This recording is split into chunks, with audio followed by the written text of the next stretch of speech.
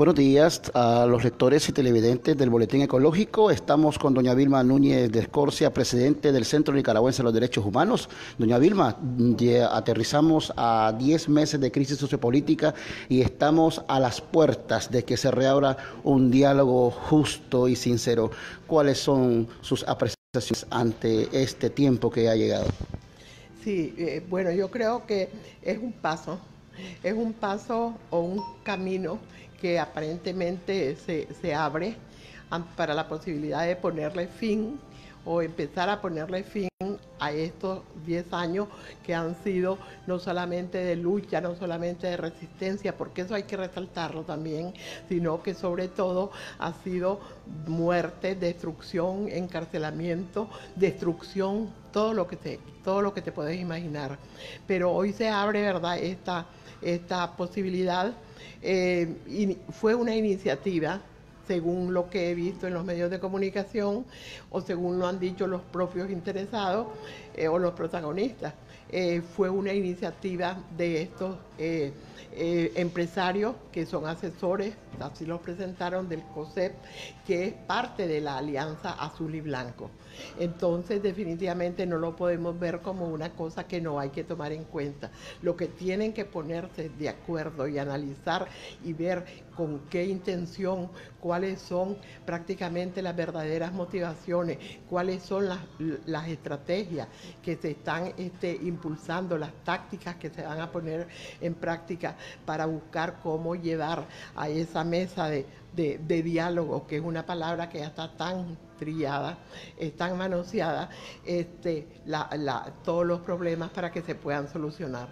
Este, entonces, definitivamente sí, lo que yo puedo decir que es una posibilidad que no se puede descartar, que tiene que, que analizarse pero que los que están encargados de impulsar esa, posibilidad en la Alianza Azul y Blanco y todas las otras iniciativas de, ese tipo eh, que convergen en la Alianza Azul y Blanco, tienen que buscar cómo eh, clarificar bien para que después en el camino no se encuentre con tropezones este, insuperables o decir que los engañaron o, decir que los usaron para ganar tiempo, porque definitivamente están asumiendo un riesgo y una este, responsabilidad muy grande, porque saben que se van a estar sentando con una persona que jamás ha cumplido su compromiso y que no ha cambiado, al contrario, es más persistente en su decisión de no cumplir con su compromiso. Entonces, nada de promesa. Por eso este diálogo tiene que estar, o este encuentro, esta posibilidad tiene que estar precedido de precondiciones indispensables para que pueda haber un ambiente un ambiente que pasa por suprimir muchas cosas de las que están ocurriendo, porque la represión aquí no ha, no ha terminado, no se puede hablar del pasado. Es, aquí esto está latente de diferentes formas, pero sí definitivamente no se puede sentar, a una, sentar en una mesa con todas las personas que están presas injustamente eh, sin haber cometido ningún delito y encarceladas en condiciones infrahumanas sometidas a tortura. Bueno, eh, y además de los desaparecidos, después de todo esto, Nicaragua no será la misma, doctora. No, no, definitivamente ya Nicaragua no va a poder, poder ser, la, ser la misma, ni nacionalmente ni, ni, ni, internacionalmente. No va a poder ser la misma nacionalmente, que es lo más triste, porque prácticamente un efecto que a veces no se puede cuantificar así, este, como decir 30 muertos, 4 desaparecidos, 500 eh, exilados, no se puede definir o cuantificar, mejor dicho, el daño psicológico que han causado sobre toda la población, la destrucción del tejido social. Con cualquier persona que tenías tiempo de no ver y te la encontrás, encontrás una persona que tiene una historia que contar, que tiene un miedo todavía que, sentir y expresar, un temor, una incertidumbre hacia el futuro. Ese es el daño que, definitivamente en esa situación es que queda este país.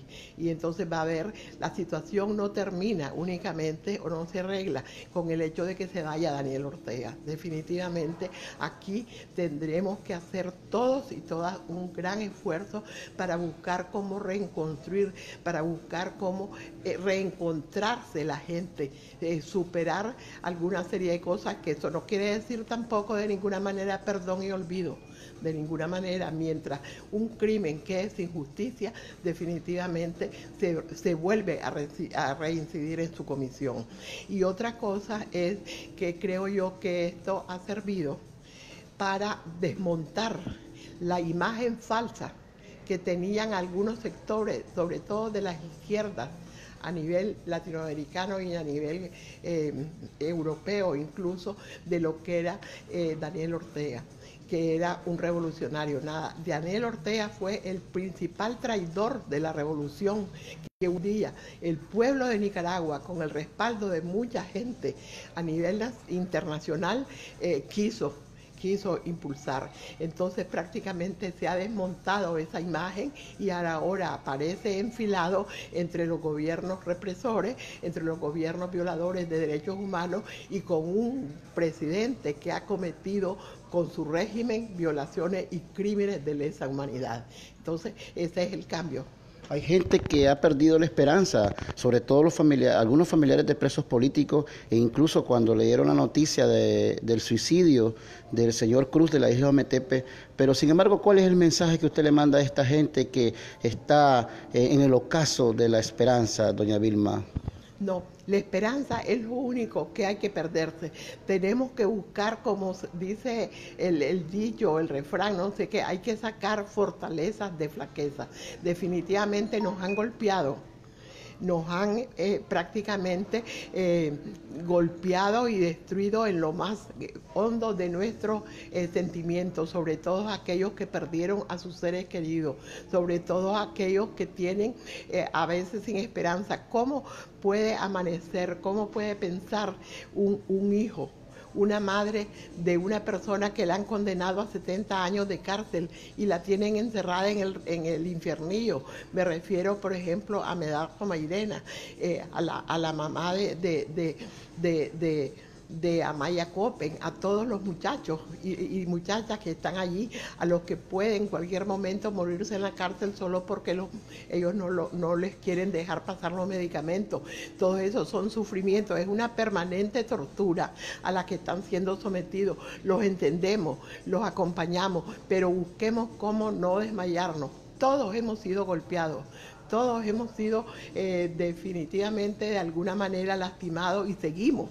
No podemos hablar en tiempos pasados, pero definitivamente nuestro eh, mensaje tiene que ser un mensaje de, persistir en la lucha, no esperar, eh, que la esperanza no sea solo buscar una solución que venga de otra parte que luchen otros, no.